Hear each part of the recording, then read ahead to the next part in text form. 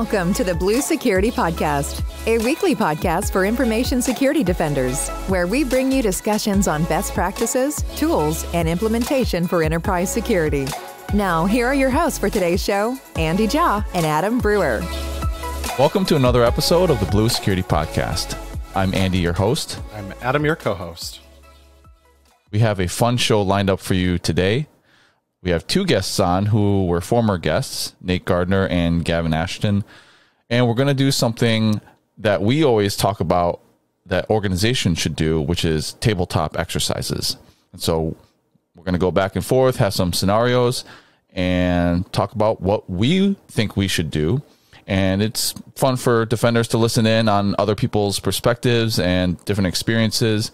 So, Nate, if you can give a quick intro, and then Gavin, another intro on your experience in this area and, um, you know, what you uh, hope to have today.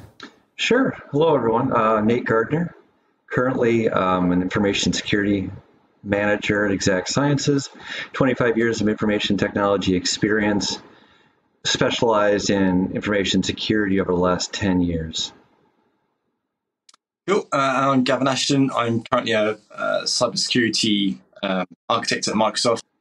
Um, my experience is 20 odd years in Microsoft Identity and Security from in house consulting roles, and just joined Microsoft in the last year.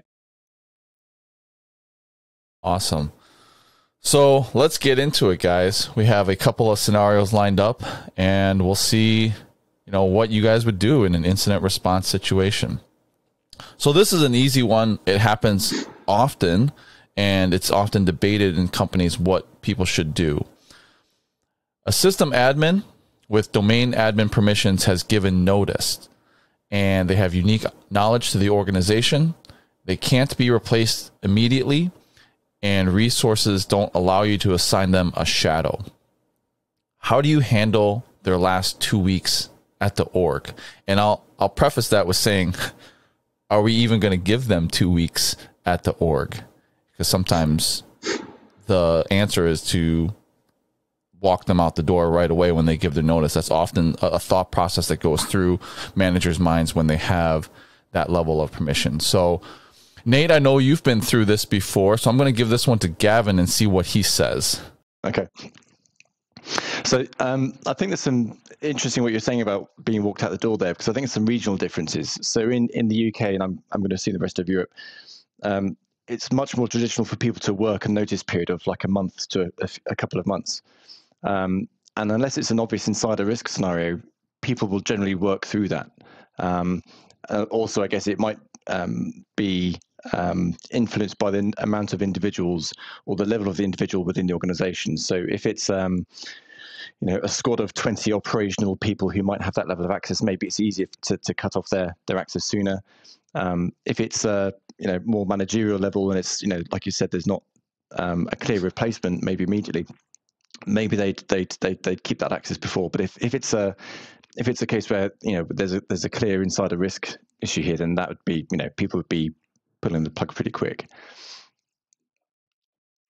Makes sense. Nate, what are your thoughts on this? Yeah, I, yeah, I'm with Gavin on this one. Yeah, not walking him out the door, you know, unless they present an active risk, right? Have they said bad things? Have they had, have they been, you know, doing things around the organization that would believe you, you know, that they were trying to do something malicious? Otherwise, you know, you really need to get a brain dump from them, right? You don't have a ton of time, so get a brain dump. But the biggest thing I think that people tend to forget about is most daily items. That should be part of a playbook, run book, you know, hit by the bus scenario type of thing, right? So anybody could pick up day to day stuff.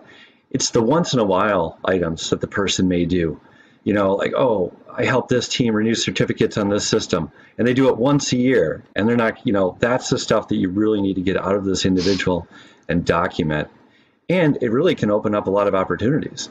Oh, this is what you were doing? Well, we shouldn't be doing that. Let's set this up for automation or have a different process for it. So it's not all bad. And yes, I've been through it not once, not twice, but three times within a very short period of time. So well versed. that um, that point about the operational things you got to sort of hand over. Um, something that I did, I didn't really see happening or being mentioned until fairly recently is when that individual has left. Oh no, it's all going spotty for me, so I don't know if you can hear me or not. we got you. Yeah. yeah. You can. Um, is is that point about you know what what what accounts does this person have access to? You know what credentials do we need to go around and, and start resetting now? You know that that that control plane level of access. You need to make sure that you've got that that covered from a you know is that person going to come back around and and you know present some sort of risk? Um, so yeah, it's that ongoing uh, operational um, tidying up that level of access, and also I've seen where um, maybe you do some sort of sanity checking. You know, go back to your audit data and just sort of eyeball, you know, the last couple of days or a couple of weeks of activity, just to make sure that, yeah nothing too untoward. Very good. Yeah, I, I have pretty much the same same thought process as you guys. Um, it really depends on how long they've been there, as well as you know their demeanor as they were there. If they presented themselves as an insider risk, I think it warrants a conversation for sure. Anytime a domain admin leaves and has that level of access, just to have a sanity check with the rest of your teammates who are staying. You know, what do you think of keeping his access for the next two weeks? You know, something like that. And if there's any doubt among the team, then you know you can have a discussion about it. But um, yeah, default behavior, as long as they don't present an insider risk, keep their access. Yeah, so if Nate's going to leave, then yeah, we're cool with Nate. Nate's Nate's a nice guy, you know. But if Andy's going to leave, uh, well,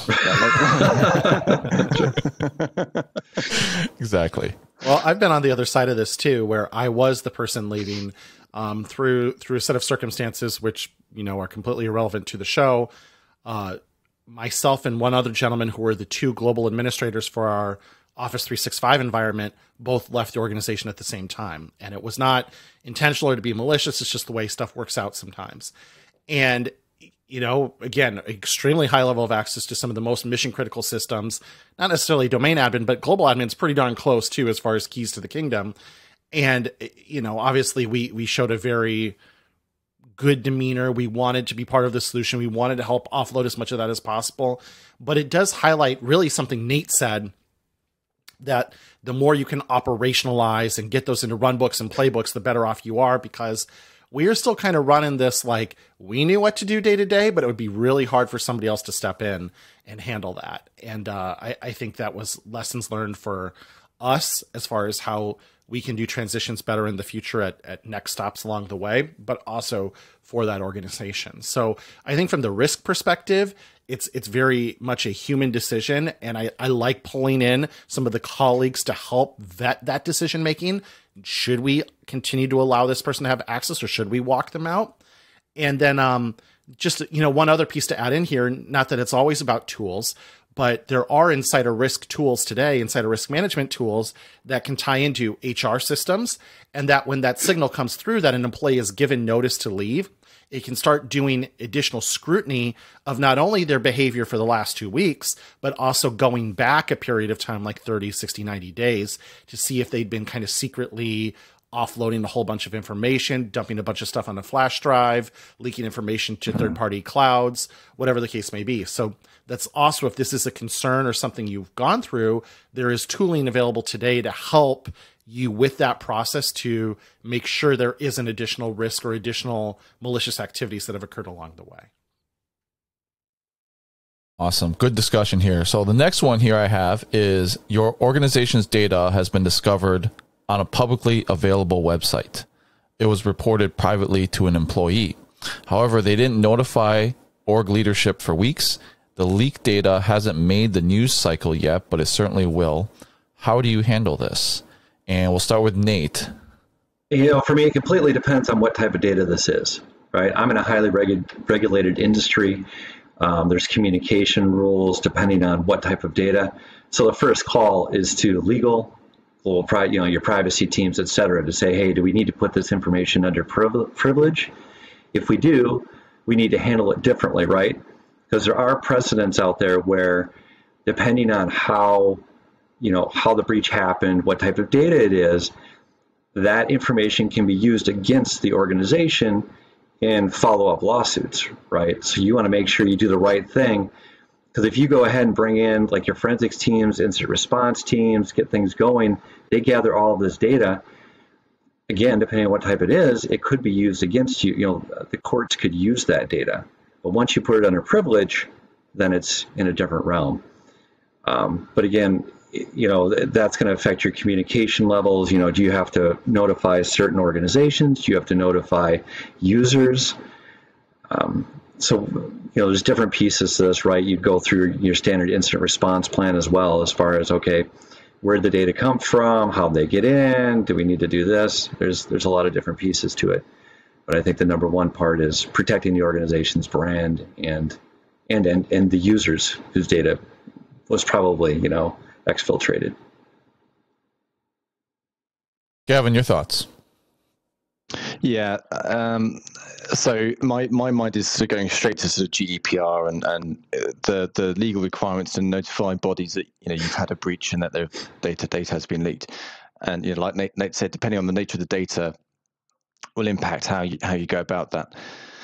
Um, because that, that can lead that can lead to as much trouble as you know the actual data itself you know in a, in a breach scenario um, in terms of um, the communications i've also seen cases where you know people who manage certain platforms may feel that well this isn't a major significant thing then maybe i don't need to notify people you know the, the first thing you know in microsoft we have our own teams that deal with this sort of thing um, and it's the first time i've ever come across an organization where you know there's such a clear path you know just go notify these folks. You know that that sort of legal framework and that that openness with the legal team um, really helps. Um, yeah, and then as Nate said, you know, there's the whole sort of back, you know, the, the the finding how that data was exfiltrated, you know, and depending on what that data is, you know, maybe maybe it's a certain piece of IP, maybe it is private data. If it's if it's that critical, then you know you're going to have eyes on on, on how it got out there. Um, part of the issue that you find with that is most often, well, many times you just don't have the logging, you know, or there just isn't the, the data there to support that investigation. So, as with anything to do with security, you know, having that data is a good thing. So whether that's you know log analytics or M365 data, what have you, you know, get that logging on. Yeah, it's interesting because when you're talking through this, I always think information security has different little overlaps and facets with compliance and even HR in some in some aspects and nowhere in the response was um was it mentioned of what you might do with the employee. So, I think if no one w- were to do anything at least have a conversation with the employee on what you should, you know, if something is reported like this to you, how it should be reported to information security. So, not necessarily disciplining the employee, but at least having a conversation and saying, hey, just a little bit of education. If something like this happens, at least report it to information security so we can start taking action on it. I, I thought that's what kind of stood out from Gavin's response is talking about internal to Microsoft. And it, it immediately in my head and this is a little bit of inside baseball, but two things immediately jumped out to me. aka.ms slash report it now. I know the URL to report it off the top of my head because it gets beaten into us, or MicrosoftIntegrity.com from the standards of business conduct. So from a when when we read through this scenario and we determine like, okay, what what did we do wrong? Like what's the behavior we need to correct? I think the biggest correction is the employee didn't provide notification in timely fashion. Right? Obviously the goal is to have never have data leakage. That's probably not a, a achievable goal. Like never 0% is not achievable, although it's something we're always going to work toward. But what we can work toward, what we can achieve is near 100% compliance with reporting in a timely fashion. That's a, that's a solvable element where we can educate our people and we can make them aware. And so I like that call out in particular. I think it's interesting that overall this really is a compliance driven, legal driven conversation where our privacy officers, compliance officers, legal officers, they're really going to dictate the path forward. In all honesty, you probably shouldn't start any remediation efforts, any pulling logs, any anything until they've been notified and they're kind of charting that path forward. Because to Nate's point, there is liability concerns with that. On how you manage those communications, those efforts, those everything. And so you really want that to be guided by the people whose job it is to know the best way to handle that. And so I think from an infosec perspective, you know, notify the right people and then follow the guidance that's provided is is really the path forward. And one more thing I'll add in general with these, you know, we've talked about it on our show before, but having some sort of incident response playbook, like Nate would say, so that you can pull it off the shelf and know who are these people to contact. Because when we say contact legal or contact HR or contact compliance, like you should have somewhere written down, like, this is the privacy officer. This is the person who's in charge of compliance. This is the HR person we need to contact. This is our legal representative. And in an incident like this, org data getting leaked, these are the folks that you need to rope in into the communication right away so that you're not scrambling to even figure out who those people are. You can just look up the document. Um, back in the day in the military, we'd say pull that binder off of the shelf and start flipping to the pages and having a checklist of people so that you can just send out the communication right away. There's a there's another point there around um, how we um, communicate with each other as an organization uh, when that doesn't exist. Like if you don't have that in place, you're going to get you know heated discussions. It's going to be easier to sort of think about repercussions or blame or you know what have you. If you don't have that plan in place, you don't have that clarity, and people can't be expected to get it right first time every time. Um, you know so being being clear with people about what's expected and also not um, using this as a you know my mind is going to sort of phishing training type scenarios where people are being you know um, hammered if they if they do click on the link rather than educated. We're using it as a thing to you know as a stick to beat people with. You know this is pe- people want to do the right thing and you've got to give them the tools to do the right thing. Right and and real quick just to tag on that andy is it's great to have a plan but make sure you run through that plan on a whatever basis it is. Once a year, it's like backups, right? If you don't do a restore, you don't know. Um, same thing there. You don't want to have the heated discussions when an incident's actually occurring. Try to run through it beforehand.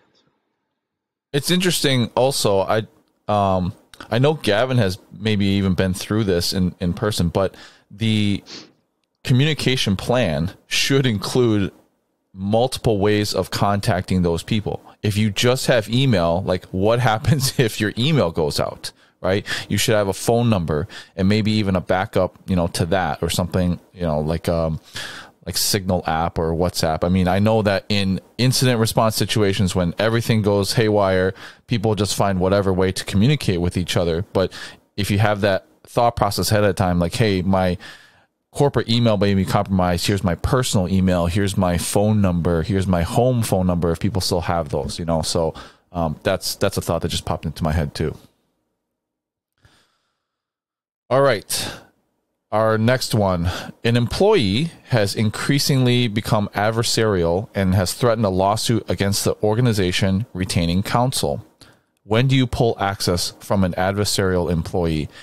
And I did follow one person who was on Twitter who actually had a lawsuit against Apple, and it was interesting to see her tweets and some of the news that was surrounding it. So this is something that does happen, um, labor practices or some sort of um, sexual harassment or something like that, right? Like it could turn into counsel and the lawyers for the organization. Just remember, anyone who's in an organization. The lawyers are not there to protect the employees, they're there to protect the organization. So they're not going to help any employee who retains any type of counsel. So, Nate, we'll start with you on this one.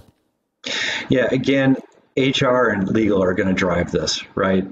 They might come to the information security team, hey, what you know, what capabilities do you have?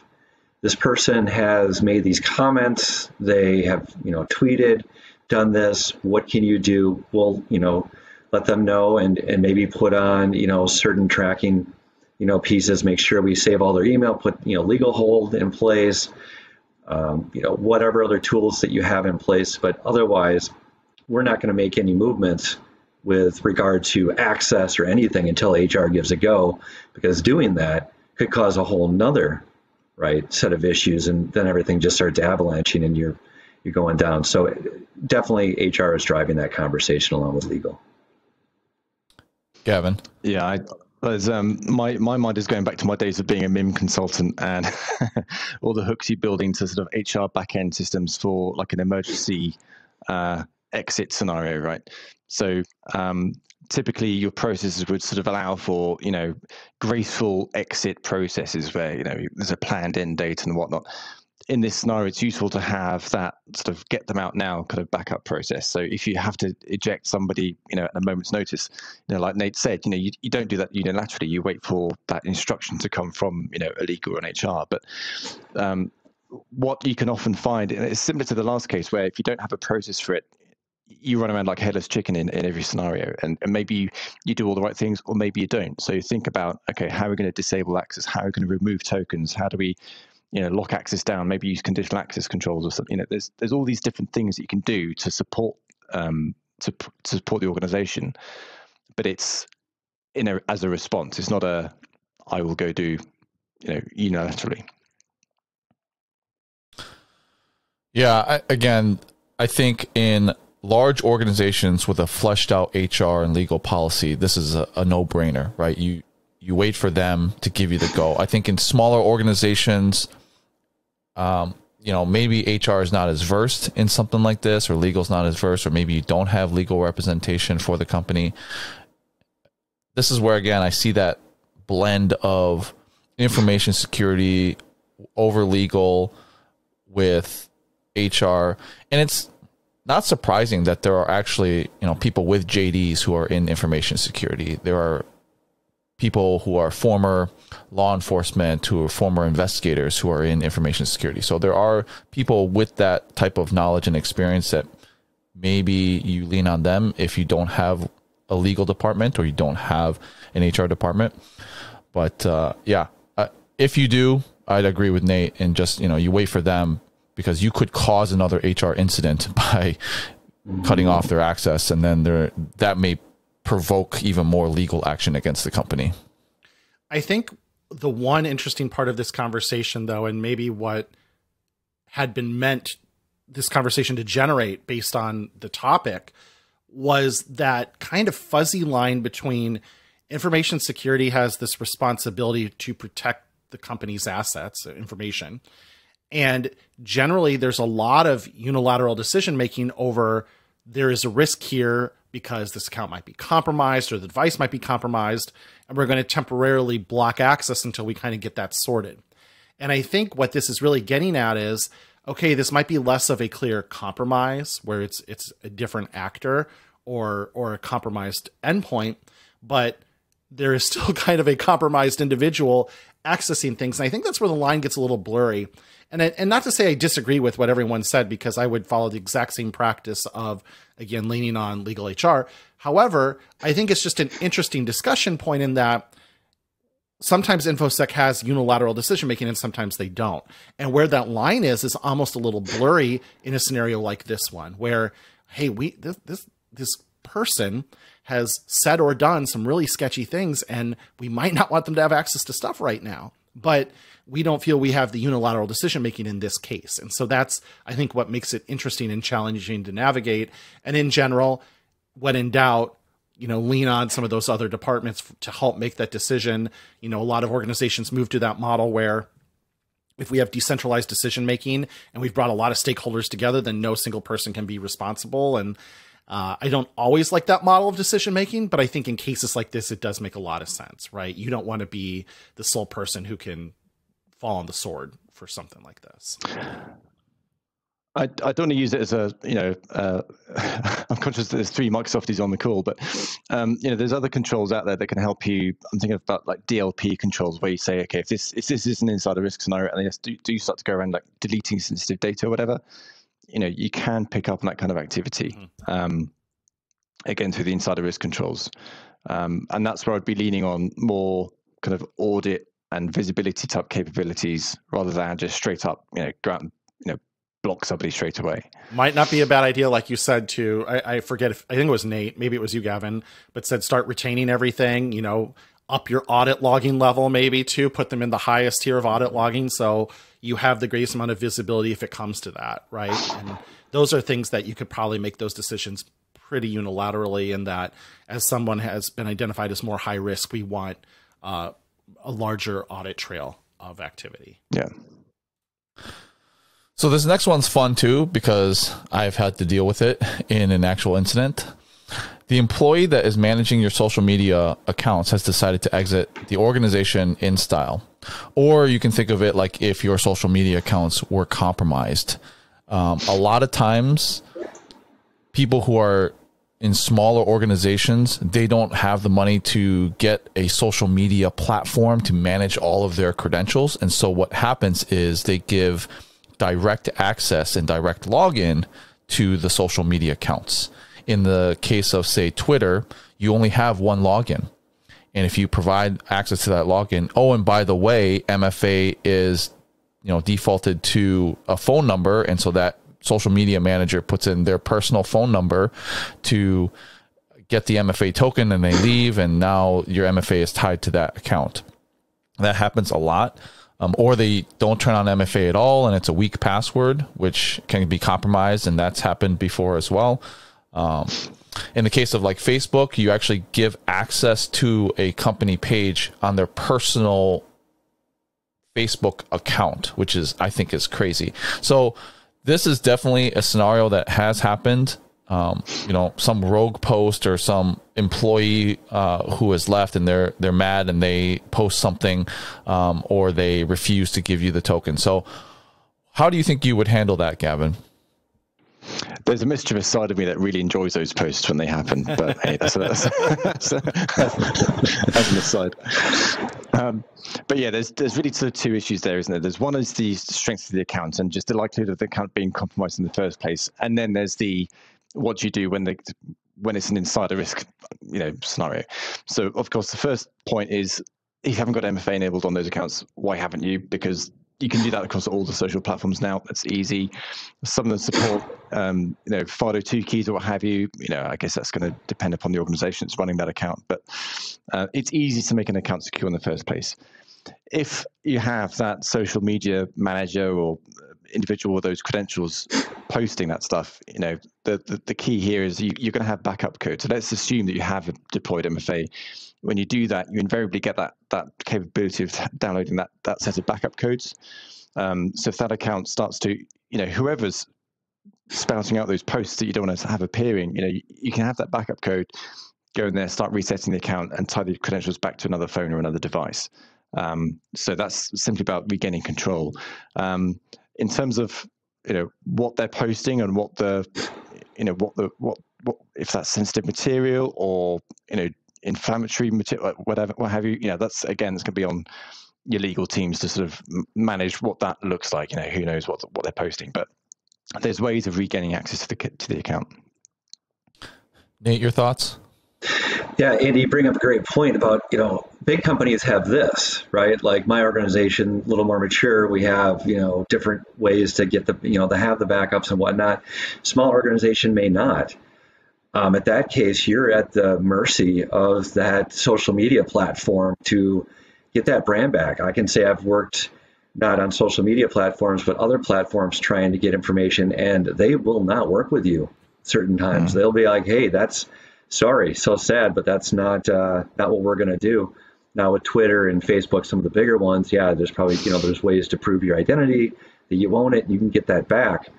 But a lot of times, you know, they're not going to have the backup codes. They're not going to know whatever the questions were that the person put in or or whatever. So you're going to have to, you know, go back to the you know to that social media company and try to prove your brand. And then of course, work the legal route with your legal and HR teams on the uh, the person that made those tweets.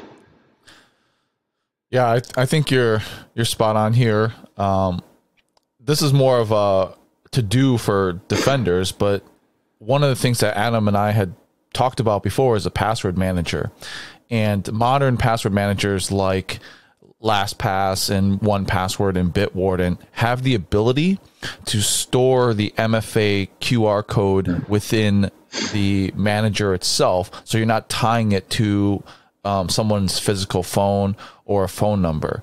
And that is often a, a best practice, even though you're putting the password and the MFA one time passcode in the same spot on a shared account like that, that's probably the best way. And most organizations limit who can natively sign into those social media apps. If you haven't used some sort of platform like Sprout or eClincher, there's a bunch of them out there that you can link up different social media accounts to and then provide role based access to those accounts to say this person is a poster only, or you could say you have to have a person review before it can get posted.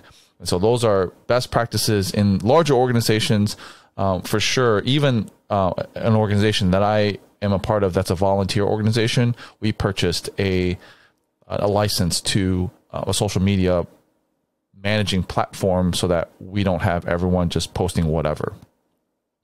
I, I think the bigger takeaway here, you know, forget the social media for a second. Gavin, Nate both touched on this, is really, and I don't want to act like this is a coming apocalypse or use really, you know, crazy words like that, but small and medium business, just a growing risk in so many different information security practices because they just don't have the tools, they don't have the investment. The leaders of those companies usually don't understand why they would need to make that investment. It would be a huge portion of their headcount or their expenses to bring those people on, and they see them, you know, as an expense like a janitor at some of those smaller orgs too. They don't see them as like bringing value, and it's just a um, with how complex a lot of this is and how many tools you need to do it the right way. So many of them are just like doing it good enough, you know, and and good enough is fine until you hit the skids and something like this, and then you're in trouble. And I just see that as a growing area of opportunity for information security vendors and information security vendors um, to figure out ways to deliver tools that are you know simple enough to deploy and use without a ton of enterprise level care and feeding that can help secure them because I see that as really a huge amount of attack surface across so many different scenarios at small and medium business. And this is a great example of something like that, where there's a right way to do it, where you can eliminate almost all of the risk. But if you haven't done that, then you're in a world of hurt. And now you're also dependent, to Nate's point, on these social media companies who are not exactly known for their award winning customer service, you know, because ultimately you're kind of not their customer the people who are buying ads are their customer. You know, Facebook's customers are advertisers, not your little company that wants to have a Facebook page, you know, your restaurant or whatever. So there's a interesting, uh, I was thinking as you were talking there, uh, I was thinking about folks I know in, in this scenario and yeah, you know, they they're they're using things like personal devices and you know little to no MFA, and they're probably not using password managers, and you know all the things that make people you know folks like us go, oh no, you know. Um, but again, like what's the risk? What's the risk? So thinking of like a major brand, like they're going to be clear targets for you know compromise, or if I'm going to make a point about the organization I'm leaving, you know, if it's a big you know visible account, then that's going to have an impact you know, if I if I manage a Twitter account for a local mom and pop shop, uh, you know, it's going to be awkward for that for that for that um, business. But um, yeah, the, it's a it's a different scale of impact. Um, but still, you know, you don't want to lose that Twitter account. Mm-hmm. Um, so it's just how do you? It's about visibility, like any of these things. And there's it's if you don't have the people, um, it's up to folks like us to sort of keep shouting from the rooftops, like, please do this, please do this, please do this. And every now and then, you know, it sinks in. But you've got to take the uh, take the wins where we can. Okay, so this next one is fun and has also happened in our world. An adversary has asked an employee in your customer service organization to install remote access software and they are compensated afterwards. So in this case, they went ahead and installed it and then the adversary paid them to do it. And we'll say for the case of the tabletop, you have discovered rogue remote access software like uh, LogMeIn, and you're not a log LogMeIn uh, customer. So you're doing a, a, review of the software, and you find this rogue software on one of your customer service um, organization's uh, computers. We'll start with Nate on this one. What do you think? Um, I'm going to go right to my incident response playbook, right? Because that's really what this is. This is, hey, let's let's work this like you know an outsider installed you know a rat on the machines or whatever. You got to go through the whole process. Okay, where is it at? What type of data may have been exfiltrated? But then also contact your legal teams to have to deal with that. And hey, do you bring in the FBI? Do you bring in the external law enforcement at that point? Because if it is, um, let's say nation state type stuff, right? Like it's China or Russia or something like that, or another company, or even if it's a company, you know, that happened with Coke and Pepsi, right? they they called in the um, the admin staff and they tried to get the, the recipe or whatever. So, yeah, first of all, bring out the plan, work your you know security incident response plan with your security incident response teams, and and go from there. Gavin, your thoughts? Yeah, I mean, Nate, Nate's the that's that's the playbook, isn't it? Um, incident response. I mean, the, the thing that, the, the, I started nodding like a dog when you sort of talking about the scenario, and, and the reason is like I've I've been up close to that exact case. You know, it's it's a very common way of, you know, we hear about phishing, uh, we hear about identity compromise, but you know, insider um, supply chain attacks is you know fits this case classically. So, um, you know, I've targeted, let's say Nate. You know, he's he's one of the developers for my app or something. Hey Nate, you know, I've got some details on you that you don't want to go public. How about you give me access to stuff, right? And the way that's going to work is you're going to give me remote access or give me some something that gives me that access. Um, you know, and then off I go. And then you know, th- that instant response note should be the thing that sort of captures what I've been up to. If that's data exfiltration, or I've been moving laterally across the environment, you know, privilege escalation, maybe I've jumped across into like a different environment like the cloud or some other vendor. Um, but yeah, it, it, depending on when you find out about this, like depending on what lights you've got flashing, like some folks they have the tools, but they're not looking for the flashing lights. So it's uh, it's it's as important to have that visibility as it is to have that instant response. Yeah, I, I think the law enforcement partnership is a good call out here by Nate, and that should be also one of those contacts in that incident response playbook. It's not something that we often think about when we're corporate IT to have contacts for local law enforcement, FBI, whatever it is. But in this case, there may be some laws broken, and um, you know, obviously partner with HR and legal on that. But at some point, you know, that may be a call that you have to make, which is, I think, called for in this this scenario. Um, and yeah, your incident response playbook, cutting off access to the employee, um, that should be pretty quick decision. And looking at all the things that that particular workstation or that employee has accessed, you know, go from there. So, yeah, good stuff here. Adam? I think that touches on it. Well, actually, relatively straightforward scenario. Obviously, kind of a weird one that you don't run into too much, but is possible and probably has happened, and, and maybe you guys have run into. But that's the playbook. Um, can I also just say, make sure we flatten that machine and completely pave and reinstall it before we redeploy it? um, for more updates and everything before we uh, put that back out there. Sometimes organizations like try to clean these, and that gives me the willies. Like, no, just pave, yeah. pave and reinstall, man. Yep. Yeah, I, I just want to bring up too on that. Maybe this is an opportunity for education to the employee base. You put that in your security awareness program.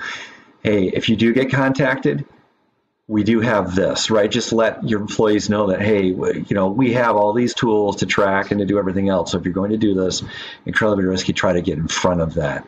It's not worth the money that you're going to receive. You will be caught. Good. All right. So this next one I've encountered as well. These are all very common situations, so I love talking through all of these here.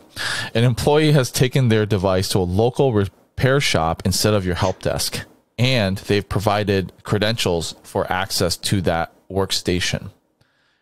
Now you find out that their computer is at the local repair shop, and uh, how do how do you handle this? Nate, we'll start with you. Okay, I mean, there's a lot of a lot of uh, variables in this one, right? Did they give them the MFA codes for anything? Hopefully, you have remote access under MFA, so you're not liable there. But either way, um, definitely, you know, reset passwords is a big one. This is almost another incident response, to be honest with you, just because of the fact that your credentials have been exfiltrated to a you know to a third party that you you know it's a non-trusted third party.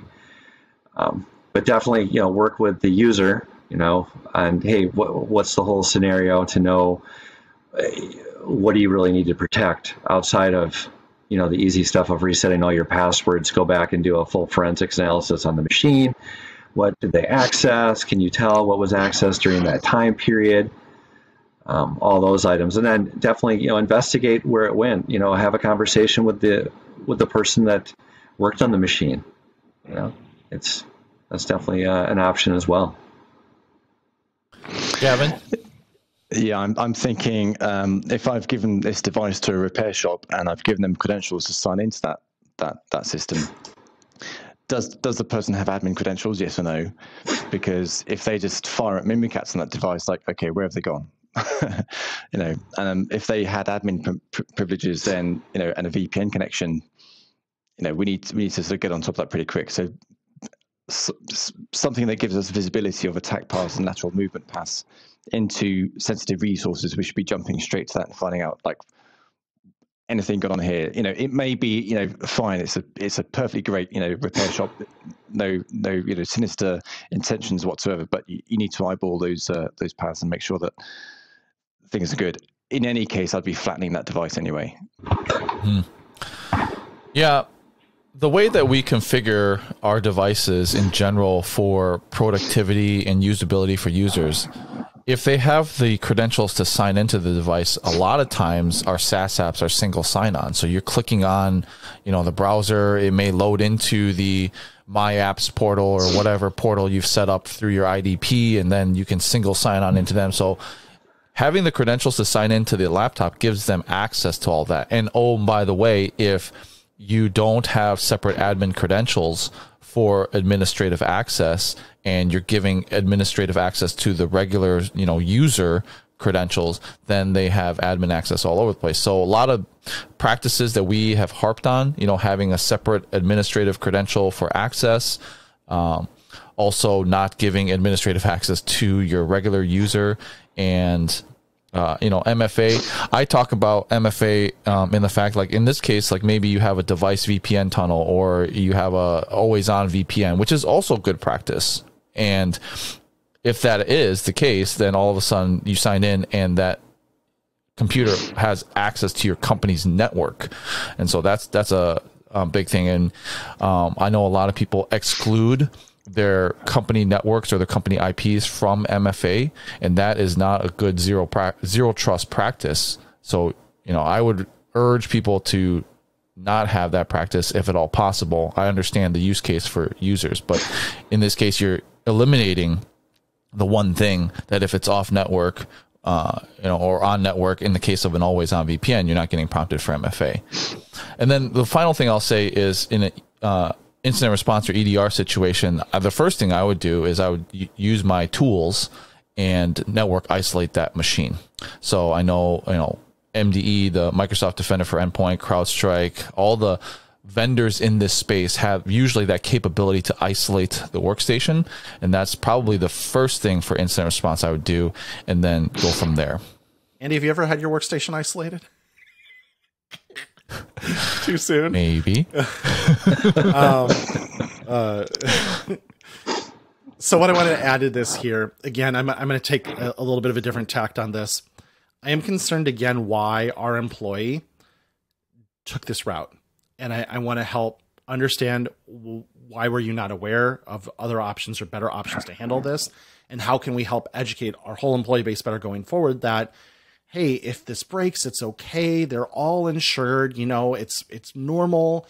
These things break. We're gonna take care of you. You spilled coffee on it. Stuff happens. Like, just bring it to us. Like, please. Like, that's the important part here. We're we're less worried about how it got damaged and more worried about that you're productive and that the company's secure than anything else. Like, ultimately, that can all be handled.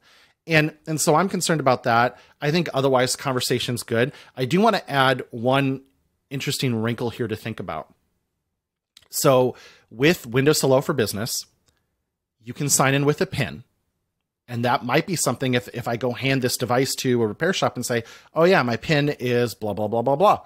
And with that scenario, if they sign in with the PIN to Windows Hello for Business, they're, and if they use Azure AD as their identity provider, that satisfies MFA requirements because Windows Hello is considered an MFA sign in because it combines A, something you know, the PIN, with something you have, the private key stored in the TPM of the device. And so even if you're requiring MFA to go to this site or to sign into VPN, if you have it integrated and to do this thing, that MFA response is now satisfied. You've actually given that repair shop two factors, not just one. And so I do not bring this all up to scare people and say, see, this is why you shouldn't do PIN. PIN is great. PIN is way better than password and MFA. But, but these are the scenarios you need to think about where again, user education, like never ever tell anybody your PIN ever, and especially not if you're handing them your device. Because I could tell you guys all on this podcast right now, I could tell everybody my PIN, unless you come steal my Surface Book off my desk, it's in, it's not helpful to you. So I'm not I'm not trying to like you know ring the bell here and scare everybody but that's something to think about too. Even mfa in this scenario might not have prevented access by the repair shop depending on how you're configured how they did it and everything else. And um again you know i i liked gavin's point of start with the worst case scenario and work backwards. Like as far as prioritizing your work, look at those lateral movement paths, look at any administrator access they have, go assume the worst right away. This guy got Mimikatz or gal and went to town um, with the help desk credentials that were cached on there and started moving laterally in the environment. Okay.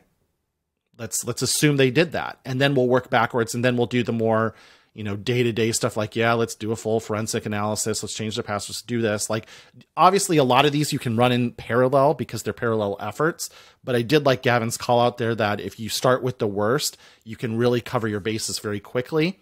And then you can move down the list on things that are more benign and um, ultimately less risky, but you do want to dot your I's and cross your T's on. And then, yes, flatten the machine.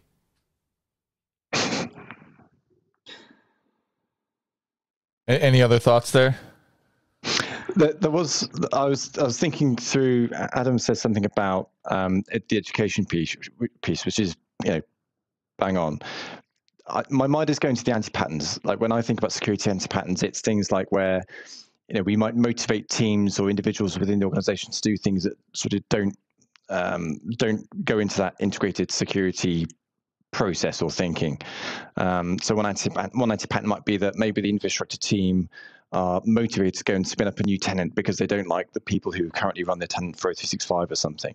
Um, an anti pattern here might be well, I took my device to the to the local repair shop because my IT department's really slow. Mm-hmm. Oh, it takes ages, and oh, I just want my laptop to work. You know, I don't have an answer for that, but I just think that's you know, these anti patterns which motivate people to do things which go outside where we'd want them to go. You know, maybe we see okay, well, because of the way we're doing this, it's actually opening up a security risk. So again, that sort of goes up to the InfoSec team to sort of join the dots here on on what's going on. I love that call out because anti patterns that Gavin's talking about a lot of those come up in conversation around passwords. In last week's show that got posted last Sunday night or Monday, uh, one of the things I brought up was in in some of the new cybersecurity regulations that are applying to national security in the United States, as well as the Department of Defense and um, several other government organizations. They finally, finally, finally said stop periodic password expiration, stop password complexity requirements, things that we've been banging the drum on for a long time here. And anti patterns in, in things like passwords are, and we all kind of know this today, when you set these complexity requirements, humans think like humans. And so they want to make it look like a English sentence. So they want first letter capitalized, rest lowercase. They want a number, then they want a symbol because that is kind of how you know, English is constructed. And so all these things that are meant theoretically that if we have more character sets involved and we have more entropy involved in password making, that it leads to better passwords. But humans don't function that way. And it actually was a backfiring mechanism in that it made very predictable passwords, where almost everyone with complexity requirements of uppercase, lowercase, number, symbol constructs their passwords in exactly the same way. And so it wasn't really helpful. It didn't add meaningful security to passwords. It was an anti pattern to Gavin's point, as another example. All right, our last one here. A branch office or, or your main office has been broken into and multiple workstations were stolen. So, a lot of things in this one um, physical security, device inventory. Gavin, we'll start with you. What are your thoughts on this? My my audio broke down there. So Are you addressing that too? Oh yeah, uh, Gavin. I, I, what are your thoughts on um, Office getting broken into and multiple workstations getting stolen? I, I have a little story on offices getting broken into which I can't for legal reasons go into on this podcast. I'm really sorry. That's the first on the show. 70 something episodes, and it's the first time somebody is invoked. Well, I mean, it's a really good, um, when you say being broken into, I mean, I'm going to, I'm going to imagine that you're going to kind of the guy with the sort of stripy jumper breaking through in the middle of the night, you know, but, you know, I, in some dim, distant part of my past, I, I walked straight up to the reception desk without any sort of identification with me and said, "Hello, I'm with IT. I'm here to work on the on a domain controller in the server room. Can you let me in, please?" And I was walked straight on through and left alone in the server room. So you know you can break in without necessarily having to like you know force a window, right?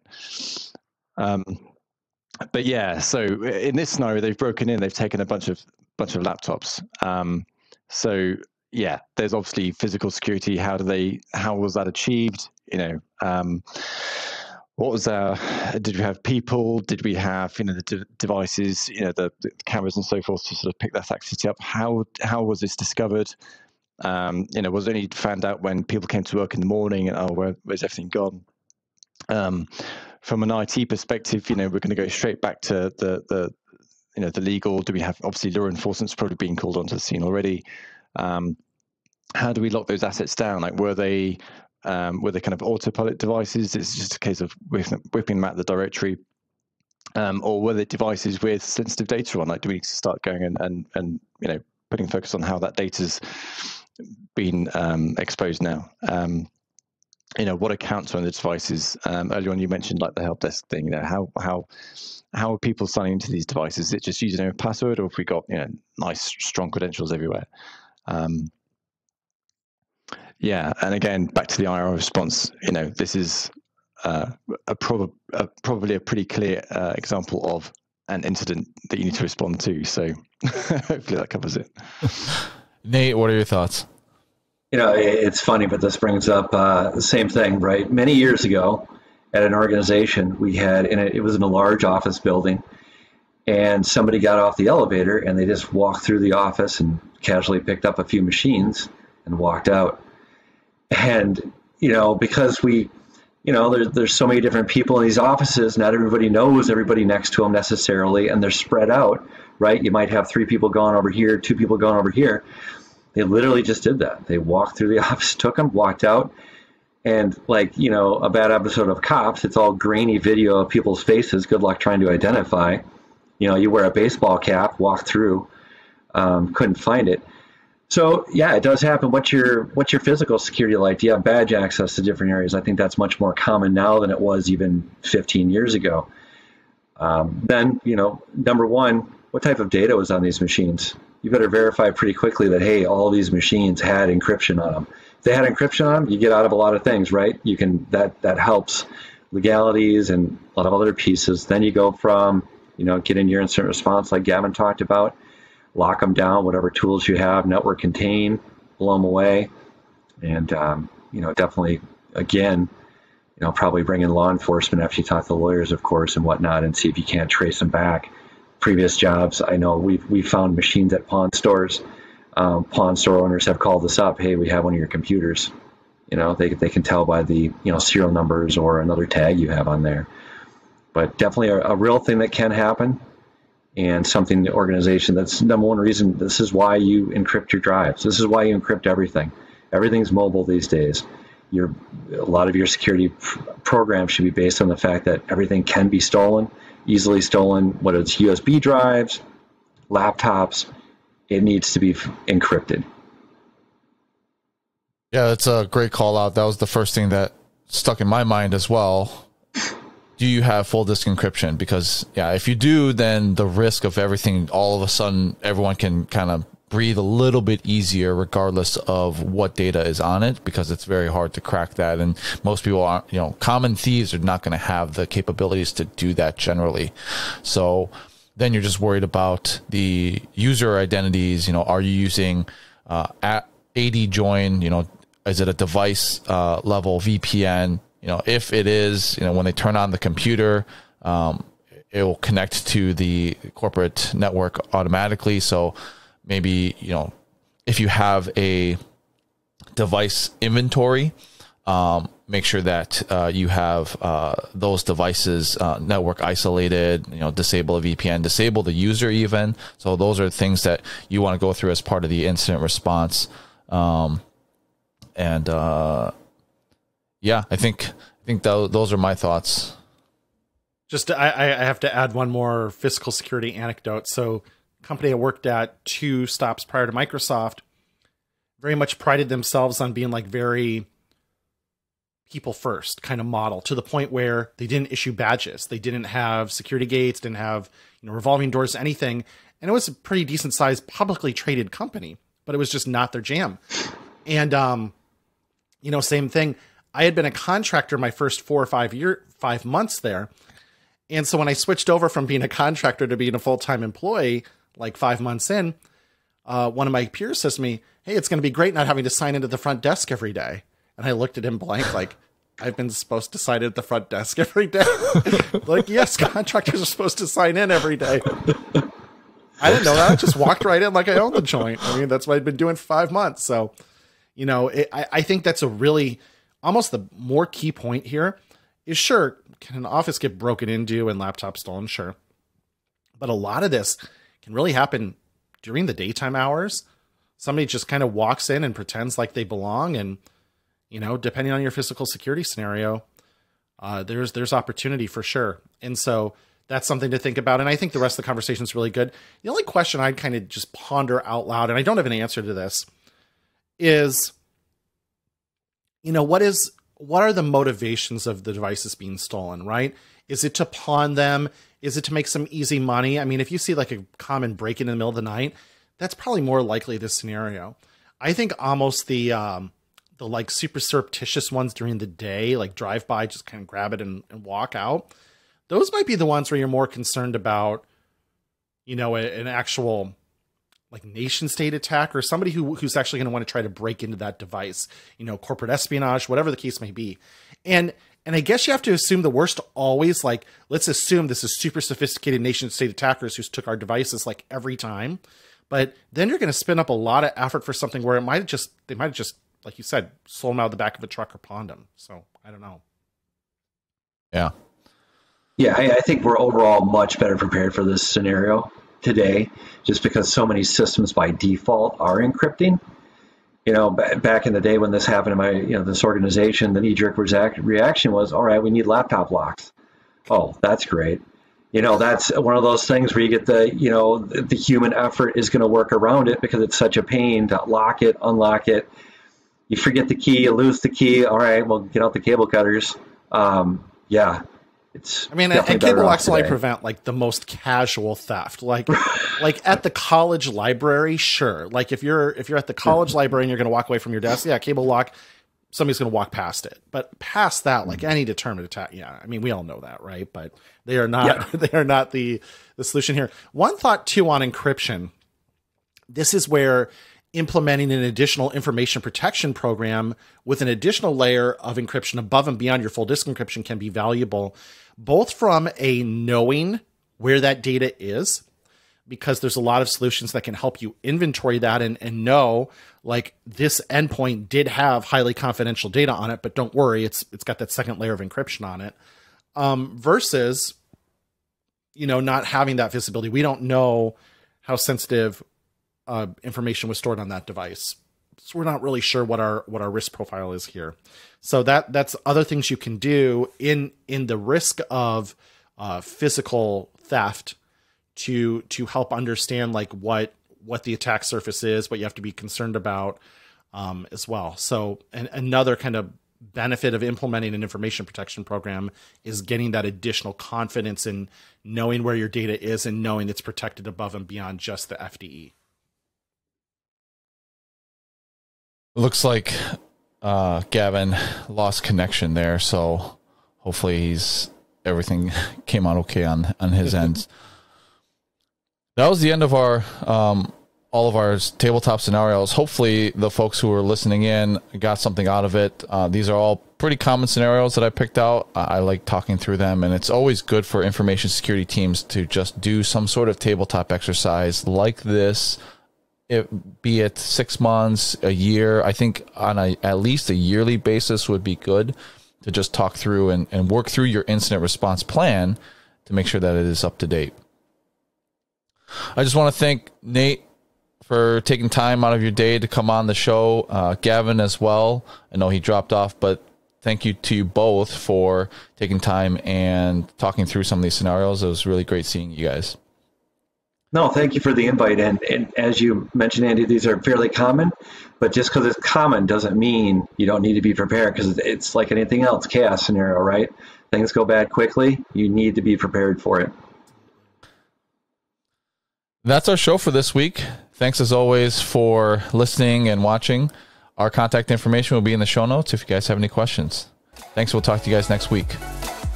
Thank you for listening to the Blue Security Podcast. Please check out the show notes, catch up on episodes you may have missed, and subscribe so you don't miss any future episodes. Find Andy on Twitter at AJaw0 and Adam at AJ Brewer. See you at our next episode.